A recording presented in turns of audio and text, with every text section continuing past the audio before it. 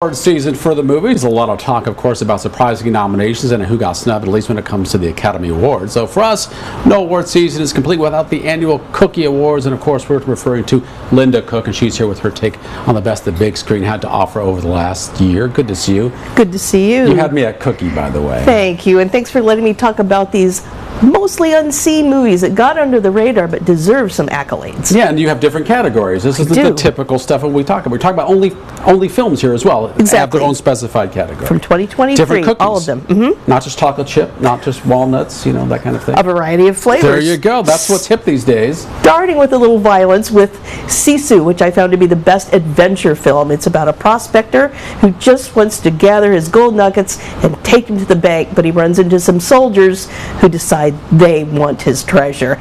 Violence ensues. And that's adventure. Of course, all these films I assume are four stars on your rating, yes. right? All right, so yes. your next category is Best Ensemble Piece. Now, this is a disturbing movie called Saltburn. It's about a young man who goes to an Ivy League school and finds himself obsessed with another student there. When he goes to the student's home to stay with his family, all kinds of things happen. And believe me when I tell you, this is not for the kids, not for the nervous, but it is very smart and unexpected. I did see that one. Your Best Comedy is another one? Yes. You Hurt My Feelings. And Julia Louis Dreyfus comes back in a very Seinfeld like comedy about a woman who hears her husband being honest about the draft of her novel. Does she ever believe what he says again? All right, best science fiction movie. And a comedy at that. Really? Jules, yes. Two, is, that's a twofer then. That's right. It's and it's very enjoyable. It's about um, I will say people of an age, a man who is facing the prospect of dementia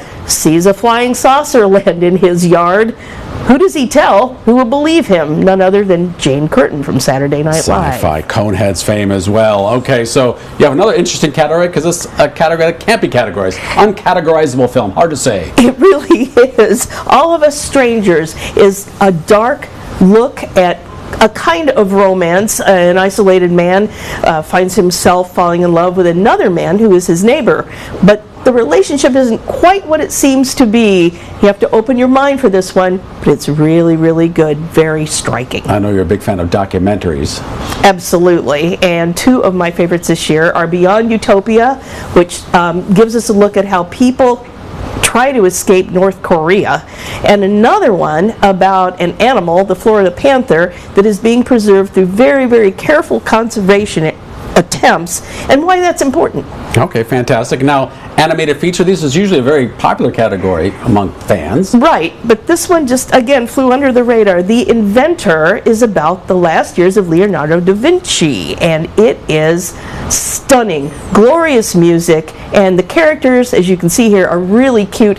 They're like the old Rudolph the Red-Nosed Reindeer characters we grew up Can we get through the last few quickly? Most disturbing drama. Oh, that one is Palm Trees and Power Lines, oh. and it's about a young girl approached by an older man.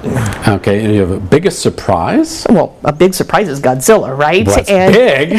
that one's in theaters right now in the black and white version of the film. I saw in color, fabulous movie with with uh, adventure and battle scenes, and of course Godzilla. And Best Family Film is another one.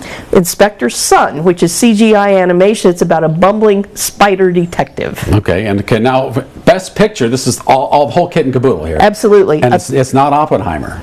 A Thousand and One, which is about a woman who's gotten out of prison and seeks her young son to build a life maybe together. It is brilliant. Why is it better than all the rest? Because it is so well written, so well acted, and it came out of nowhere. And people can find this somehow, somewhere? Streaming. Streaming That's services. the one option. Mm-hmm. Linda Cook and her Cookie Awards. Always great to talk to you. And of course, you can find the details about her Cookie Awards online at ourquadcities.com.